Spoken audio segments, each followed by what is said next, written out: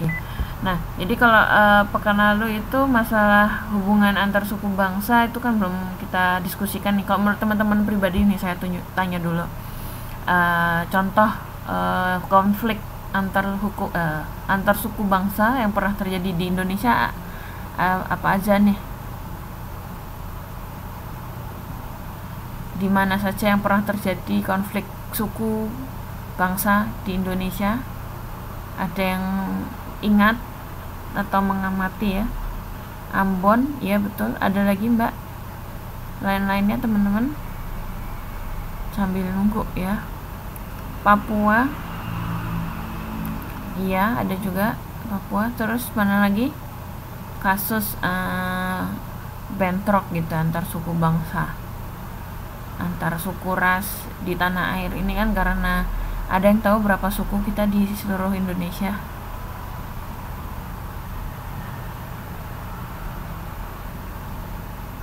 Timur Leste. Timur Leste pas ini ya pas uh, kasus referendum itu kali ya. Kemudian ada lagi.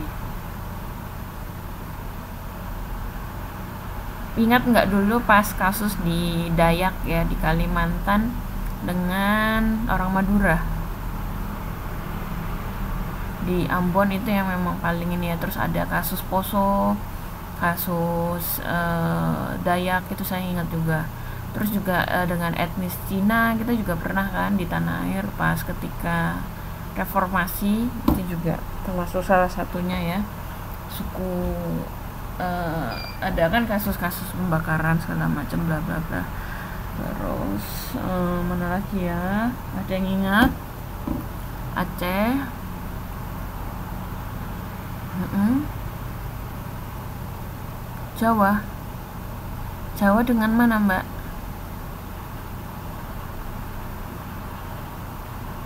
Ada bentrok kanan suku Jawa dengan mana? Yang cukup ramai Aceh dengan Jawa Itu di mana mbak?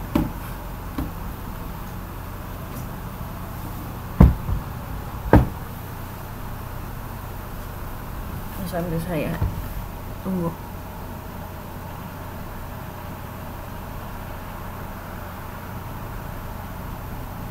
silahkan ketik. Oh ya nih uh, udah online ya mbak Tia?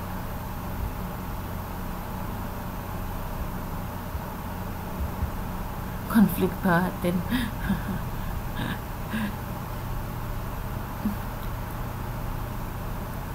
Konflik batin mah ya memang uh, ada ya kalau misalnya yang sudah cukup lama di tanah air dan nggak terlalu muncul mungkin ya maksudnya tidak ada konflik uh, besar sampai korban jiwa ataupun uh, kerusuhan. Memang kalau uh, saya pernah pernah dengar beberapa kali ya, terutama Aceh sama Jawa itu memang uh, di Acehnya itu mereka kurang suka dengan adanya orang-orang Jawa. Kemudian yang kasus GAM itu ya, itu juga uh, salah satu yang ada isu itu juga. Mereka kurang suka kok ada pendatang terus dengan uh, beberapa suku-suku lain ya mungkin ada sentimen sentimen terhadap suku tertentu. Nah, itu memang menjadi resiko ya ketika ada beragam suku di Indonesia sendiri kan ratusan bahasa juga ada ratusan. Kemudian kebiasaan-kebiasaan tradisi nah itu menyebabkan memang uh, sering kali bisa menyebabkan adanya konflik gitu ya. Kadang kalau uh, beda sama sesama Jawa beda da, beda daerah Jawa pun juga suka beda gitu ya. Itu ninja? Maksudnya ninja gimana ya? Saya nggak tahu malah maksudnya ninja. Di Banyuwangi ada ninja. Ninja apa mbak 99 itu maksudnya tentang apa? Itu suku juga, maksudnya kasus rasis. Kasus ras antar suku bangsa. Pembantaian. Oh, ya mungkin um, sambil sambil berpikir dulu ya. Ini kayaknya Mbak Tia udah siap Mbak Tia. Halo Mbak Tia. Saya coba aktifkan ininya ya suaranya. Sebentar. Ini karena Mbak Tia mau presentasi. Mbak, uh, ada yang mau pakai PowerPoint atau cuma pakai suara Mbak Tia?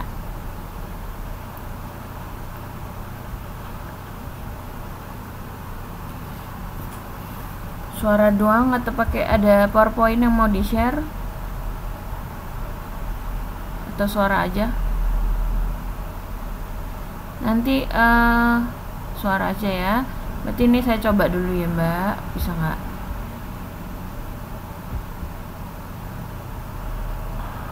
Halo Mbak Tia. Halo Mbak Tia. Halo, selamat malam. Selamat malam Mbak Tia. Selamat Tia. Dengar suara saya? Dengar dengar. Teman-teman yang lainnya suaranya kedengeran nggak? Teman-teman yang lainnya suaranya kedengeran nggak? Oke. Okay. Dengar ya. Ini saya kayaknya feedback saya jadi. Kedengeran jelas nggak? Feedback saya. Iya mbak. Oh benar-benar nanti ada suatu hal benar. Iya nggak apa-apa nanti saya saya yang off saya matikan. Nggak apa-apa nanti saya saya yang off saya matikan. Suara saya nanti saya matikan nanti uh, biar. Iya. Saya matikan nanti. Uh, sekarang udah jelas belum? Uh, cukup jelas tapi ada emang agak keresek-keresek mbak. Uh, cukup jelas tapi ada emang agak keresek Oh memang ben ini, soalnya saya itu di samping pabrik, mungkin suara berisiknya itu dari mesin. Oh gitu. Oh. Enggak, ini juga jauh, saya juga pakai handset, iya. Oh gitu. Oh gitu. Hmm, jadi kebetulan uh, pabrik saya sama mes kan jadi satu. Jadi posisi saya kan uh, mesnya di ujung terus majikan di sebelah sana paling ujung gitu. Jadi mungkin uh, efek berisiknya kalau di kampung saya sih nggak ada benda-benda yang berisik gitu. Cuman pas posisinya kebetulan sama pabrik. Jadi gimana masih bisa didengar suara saya atau Hmm. Oh, ini maksudnya Mbak, uh, mic-nya uh, kresek-kresek di mic-nya. Uh, jadi saya pakai handset ini. Gimana sekarang udah bisa dengar? Nah, coba dijauhin dikit Mbak, kata teman-teman. Mbak, dijauhin dikit Mbak, kata teman-teman. Coba, saya coba itu ya, saya coba coba dulu itu uh, handsetnya gimana, Dan, uh, bisa nyambung. Halo Bu. Halo, halo ya Mbak. Ya. Gimana? Oke. Okay. Halo, halo ya Mbak. Ya. Ah ini udah lebih oke okay, Mbak. Nah, ini udah lebih oke okay, Mbak. Oh. Halo? Jadi suara saya bisa diterima ya di Halo? teman sama ibu juga ya? Iya, ah, bisa bisa. Ya, bisa bisa. Uh -uh.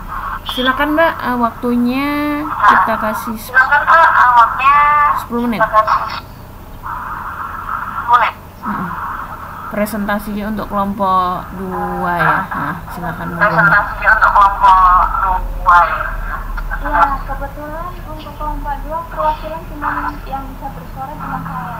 Jadi Mbak Arin Mbak Arinnya nggak bisa bersuara, terus uh, Bu itu si Wirnarninya nggak bisa masuk masjid dan Vinanya juga dia nggak bisa masuk kelas juga nggak bisa bersuara. Jadi semua diwa- diwakilkan saya Bu. Ya silakan Mbak, nggak apa-apa, monggo langsung presentasi semua. Oh, langsung oh, presentasi. Assalamualaikum warahmatullahi wabarakatuh. Selamat malam kan. Terima kasih atas waktu yang telah diberikan kepada saya untuk menyampaikan presentasi berkaitan dengan tugas kemarin dan mohon maaf banget saya tidak bisa hadir PTM di KDI karena ada kepentingan mendadak.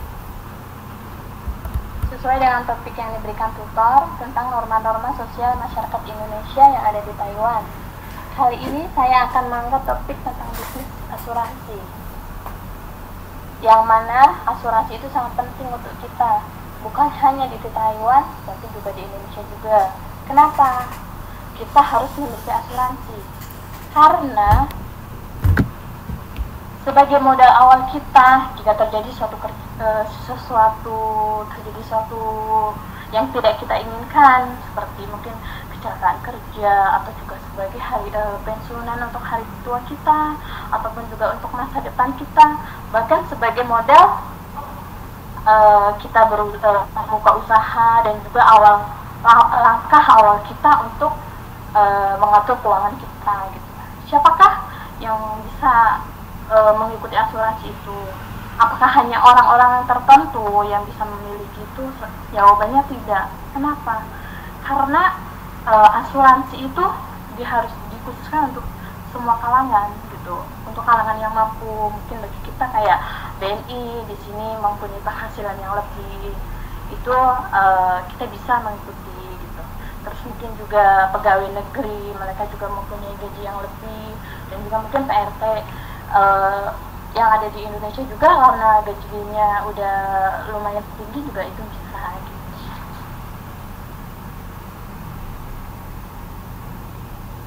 Dengan uh, adanya sebuah asuransi ini, masa depan kita tuh jauh lebih baik.